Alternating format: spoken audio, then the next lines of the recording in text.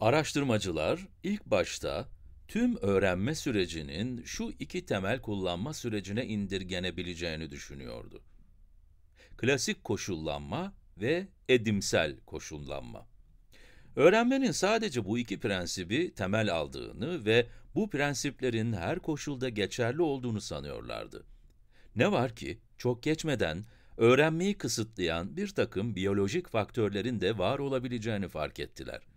Yani, hayvanların biyolojik açıdan farklı çağrışım türlerini öğrenirken, farklı seviyelerde zorluk yaşayacak şekilde hazırlıklı olduklarını keşfettiler. Ve buldukları bu duruma bağlı olarak, hayvanların doğal yaşamlarının parçası olan çağrışımları daha kolay, kendi doğal yaşamlarının parçası olmayanları ise çok daha zor öğrendiğini keşfettiler. Şimdi bunun doğruluğunu ispatlayan çalışmalardan birine bakalım. Fakat önce, olumsuz tat koşullanması kavramına değinmek istiyorum. Bunu şöyle açıklayayım. Bir hayvan, bir şeyi yedikten sonra hastalanırsa, artık o şeyden uzak durmayı öğrenir. Çünkü o yiyeceği kötü bir deneyimle ilişkilendirmiş olur. Bu durumun aynısı insanların da başına gelebilir, değil mi? Hatta benim başıma geldi. Eskiden kişnişe bayılırdım. Ama bir gün içinde bolca kişniş bulunan bir şey yedim ve hastalandım. O yüzden artık kişnişin kokusu bile öğürmeme yol açıyor. Sizin de böyle olumsuz bir tat koşullanması yani tiksinme deneyiminiz varsa, iki şey dikkatinizi çekmiş olmalı. İlki, bu tiksintiler inanılmaz derecede güçlüdür. Bunları aşması gerçekten çok zordur. Ve ikincisi ise, bir tattan tiksinme durumu her zaman mantıklı olmayabilir. Mesela ben, hastalanmadan önce kişnişli bir tavuk yemeği yemiştim. O yemekten sonra rahatsızlandığımda, çok yüksek ihtimalle yemeğin üstündeki baharattan değil, tavuktan zehirlendim diye düşünmüştüm. Buna rağmen ben de tavuğa değil, kişnişe karşı bir olumsuz tat koşullanması gelişti. Fakat daha da önemli bir noktaya dikkatinizi çekmek istiyorum. Vücudum hastalanmamı yediğim bir şeyle ilişkilendirdi. Bu durumu, yeşil deri koltuklu restoranlarda yemek yemekle, kot pantolon giymiş olmakla veya akşam yedi buçukta yemek yemekle ilişkilendirmedi.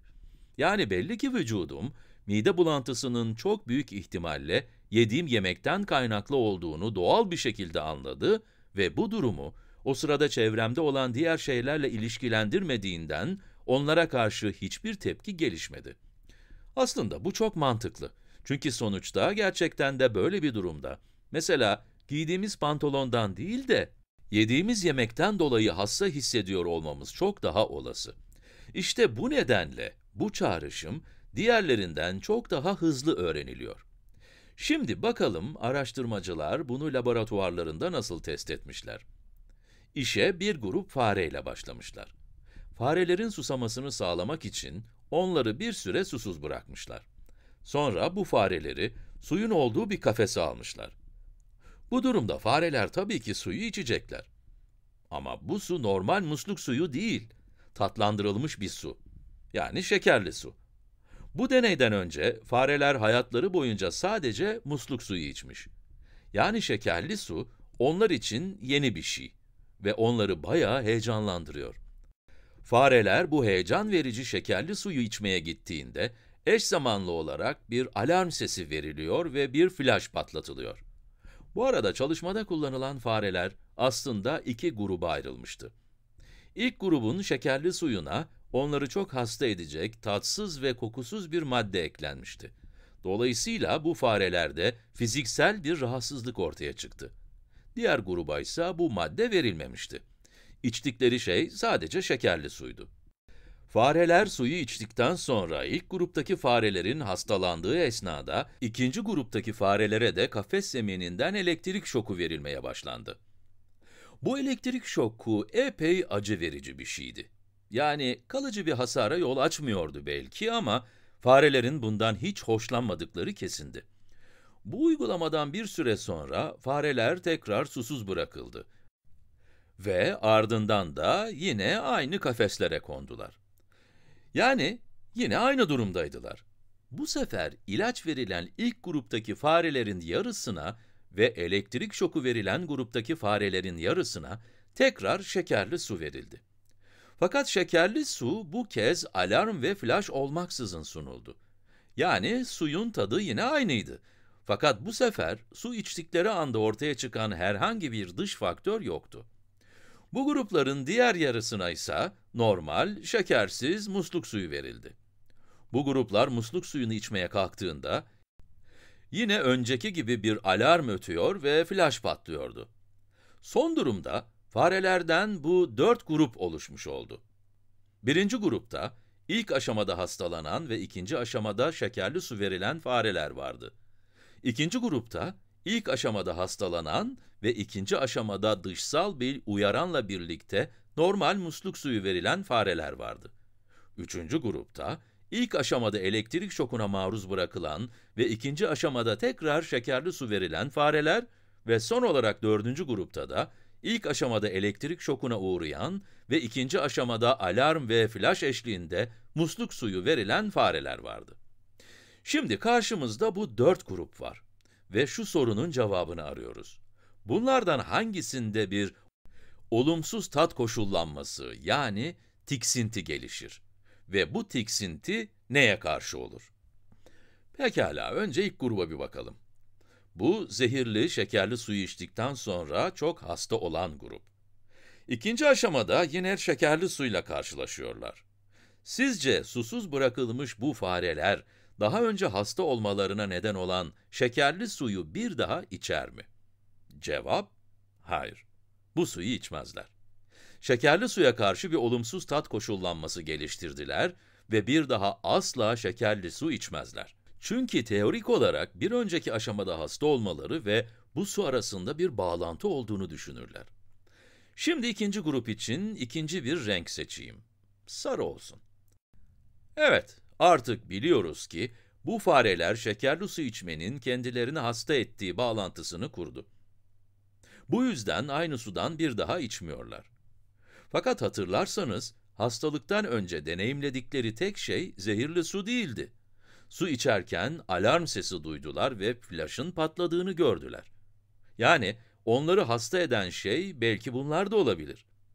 İkinci grupta test ettiğimiz şey işte bu. Bu fareler ilk aşamada hastalandı ve şimdi tekrar su içmeye gidiyorlar. Su bu kez normal musluk suyu ama ilk aşamadaki gibi alarm sesi ve flash yine var. Sizce fareler bu kadar susuzken, alarm ve flash onların suyu içmesine engel olur mu? Yani fareler bu dışsal uyaranlara karşı, şekerli suya karşı gösterdikleri olumsuz tat koşullanmasını gösterir mi? Deneyin sonucuna göre, hayır. Herhangi bir tiksinti geliştirmedikleri görülüyor ve sudan içiyorlar. Peki ama neden? Bu durum aslında az önce kendimle ilgili verdiğim kişniş örneğiyle aynı. Sonuçta ben de sadece belli bir besine karşı tiksinti geliştirmiştim. Herhangi bir dışsal uyarana karşı değil. Bu fareler için de aynı şey geçerli.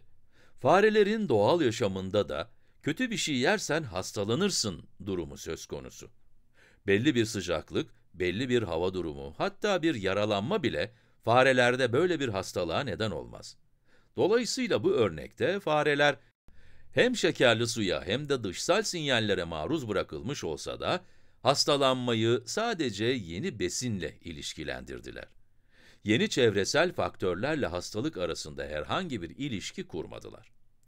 Şimdi gelelim zehirli madde yerine elektrik şoku verilen farelere. Bu fareler de şekerli sudan içti ve çevresel uyaranlara maruz kaldılar. Yani şekerli sudan içerken alarm sesi ve flaşı deneyimlediler. Ama sonrasında bu fareler rahatsızlanmadılar. Onun yerine ayaklarından elektrik şoku yediler.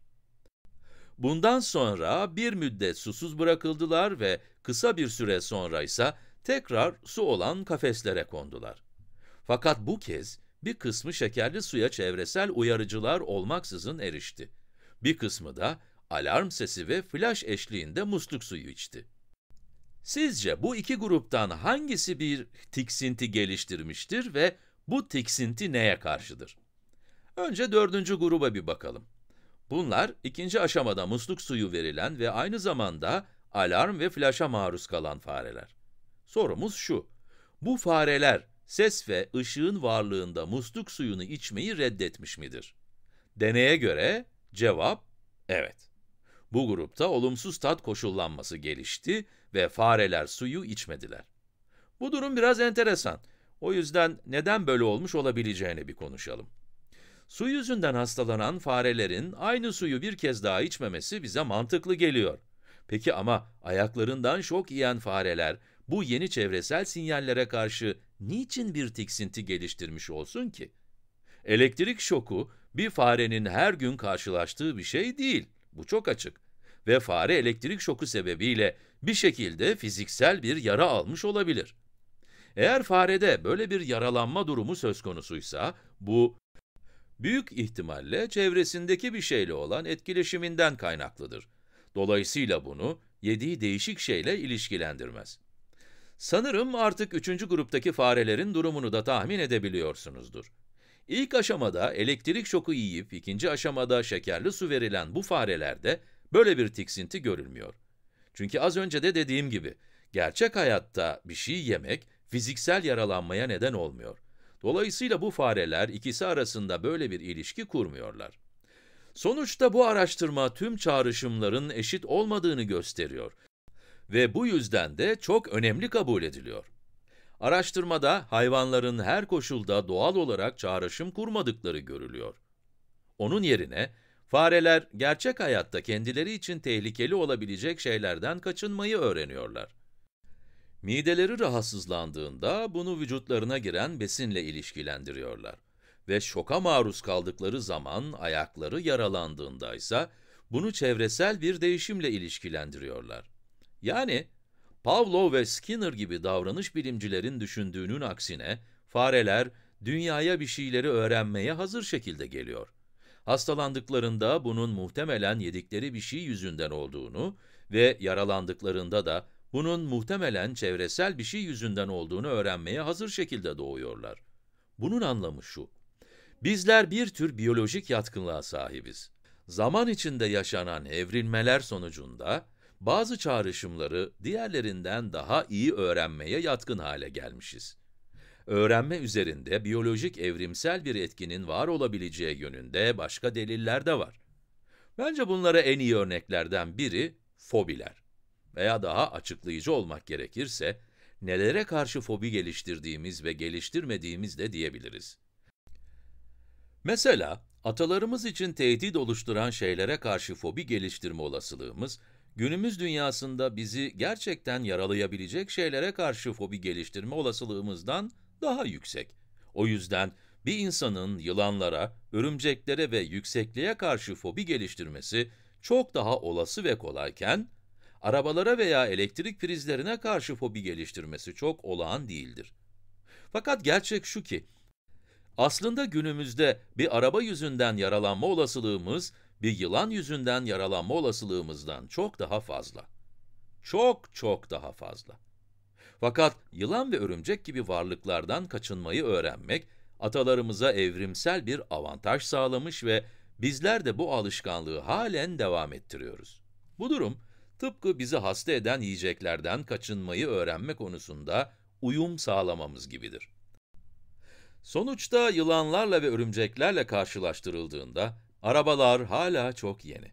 Hatta o kadar yeniler ki, aslında bizim için tehdit unsuru olmalarına rağmen, henüz onlardan kaçınmak yönünde bir yatkınlığımız oluşmuş değil. Özetlemek gerekirse, tüm bu anlattıklarımın ana fikri şu. Uyumsal, yani bir tür evrimsel avantaj vadeden çağrışımlar, bu biyolojik prensiplere dayanmayan çağrışımlara göre çok daha hızlı öğreniliyor. Dolayısıyla, biyolojik yatkınlıkların bir sonucu olarak, davranışçılığın her şeyi açıklayamadığını, bu yüzden de öğrenmenin sadece klasik ve edimsel koşullanmaya indirgenemeyeceğini artık biliyoruz.